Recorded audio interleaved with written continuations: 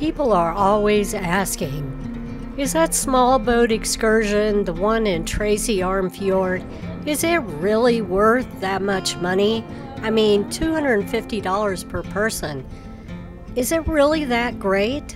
Can't you see the glacier from the ship? I heard you could. So many people ask about this, and we want to show you why you should be doing the Tracy Arm Fjord small boat excursion. Yes, it is worth the money, really.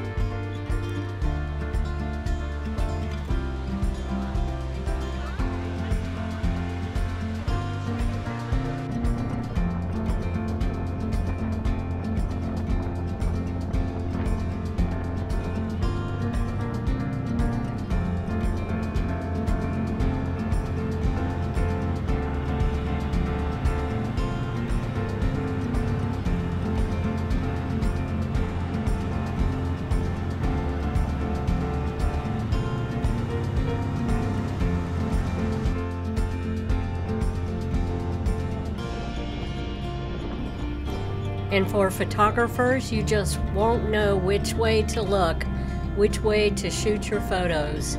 You'll be walking around and around on the boat, trying to get every shot. It is absolutely stunning.